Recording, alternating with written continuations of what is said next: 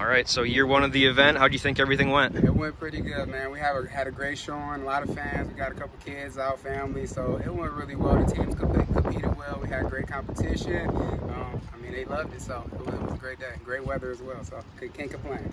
you know how many teams total you had here? So total today we had 14 teams, uh, two pools of seven. Uh, we had a higher pool with like the bigger schools, Division One through three. Then we had a lower pool with D4 through D7. So um, championship, uh, Division Two team as far as Muskegon, obviously. So you know, return to D2 champs. We had uh, Big Rapids, who was district champs at D4. We had North Muskegon, who was in the semifinals. So all guys like that. So a lot, a lot of good competition here today.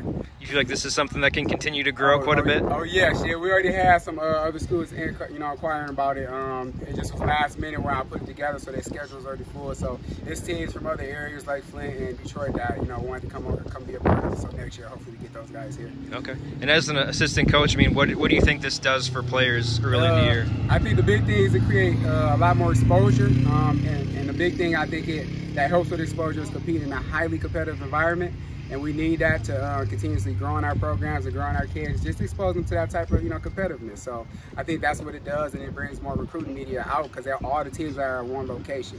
I think that's the big thing, getting a lot of teams at one location so people don't have to split, you know, split between between different locations. Do you feel like that's something that's been missing in West Michigan a little bit? Yes, I think uh, the east side of the state does a really good job at it. Um, they, I can't, you know, can't knock them at all. They do a great job. So, so, uh, so uh, such as uh, uh, out of state as well too.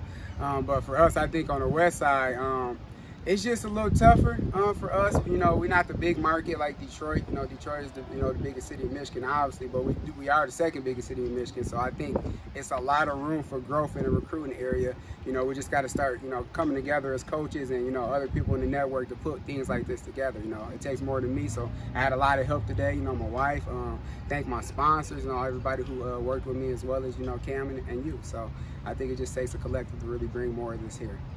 All right.